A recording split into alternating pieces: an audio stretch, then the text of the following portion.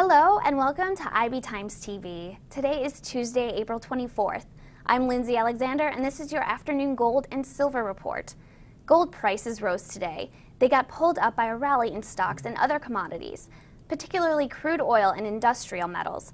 But the volume was light, once again because active traders are waiting for a key meeting of U.S. central bank leaders to finish up tomorrow. Sometime Wednesday afternoon, the Federal Reserve is expected to issue a statement that will be closely analyzed for signs about whether the Fed will print more money or just let things sit. If the Fed sig signals that it's leaning towards another round of quantitative easing, which is a euphemism for money printing, the price of gold will probably rise. But if the Fed tomorrow doesn't signal something like that, then the price of gold could stay under $1,750. The last two months have not been nice to the price of gold. Since February 28th, when gold closed at $1,791, the price has fallen more than 8%.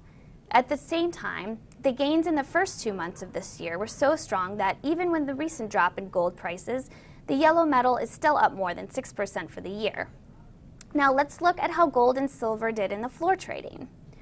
Gold for June delivery rose $11.20 to $1,643.80, while spot gold climbed $7.10 to $1,642.58. Silver for May delivery increased 22 cents to $30.75, while spot silver was up 4 cents to $30.81.